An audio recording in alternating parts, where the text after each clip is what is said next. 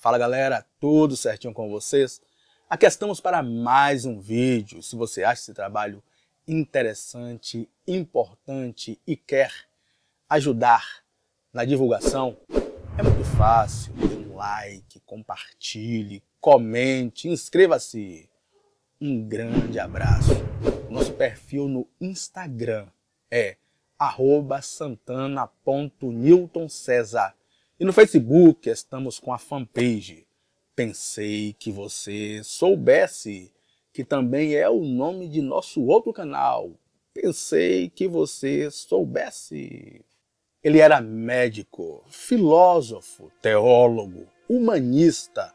Como cientista, fez importantes descobertas referentes à circulação sanguínea.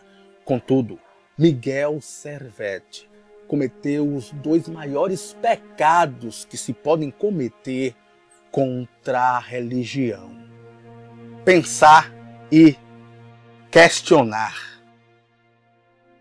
Por isso, ele pagou com a sua própria vida.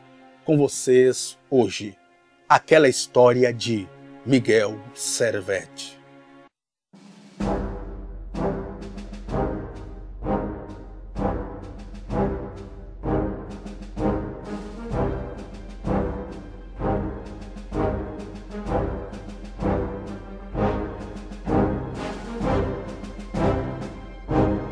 Miguel Servetti nasceu na cidade espanhola de Vila Nueva de Sigena, no dia 29 de setembro de 1511.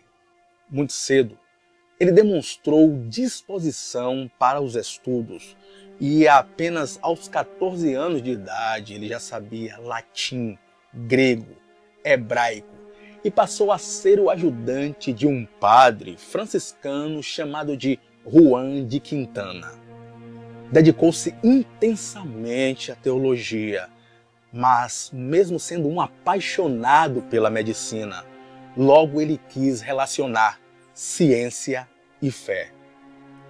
Quase com 20 anos, ele foi enviado por seu pai a Toulouse, na França, para estudar leis. Servette nasceu em uma família católica. Todavia, na Alemanha e na Suíça, ele conheceu o movimento protestante, sendo que teve entre os seus principais amigos naquela época o próprio reformador João Calvino, que mais tarde veio a ser um dos seus principais inimigos e um de seus algozes. Em julho de 1531, Servete publicou o livro De Trinitatis Erroribus, em bom português, sobre os erros da Trindade. Já no ano seguinte, Servete publicou o livro Dialogorum de Trinitate, ou seja, diálogos sobre a Trindade. Desta maneira, Servete se colocou como um antitrinitariano, isto é, Servete não concordava com a doutrina da Trindade cristã. Sendo assim, Servete começou a usar o pseudônimo de Michel de Villeneuve, com o intuito de fugir das perseguições eclesiásticas por causa de suas obras religiosas. No entanto, suas obras renderam-lhe muitas críticas por parte dos protestantes, sobretudo críticas vindas dos reformadores Zwingli e Philip Melanchthon, que achavam que Servete era simplesmente um blasfemo e herege por questionar a doutrina da Trindade. Em Basileia, os seus livros foram proibidos e alguns magistrados propuseram a sua perseguição.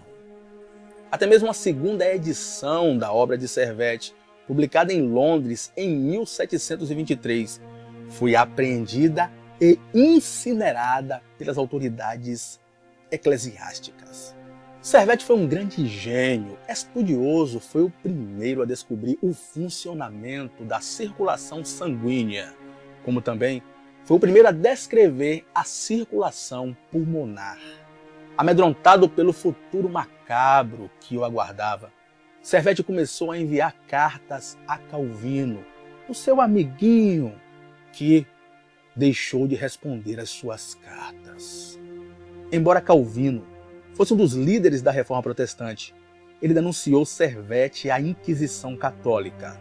E no dia 4 de abril de 1553, Servete foi preso em Vienne, França.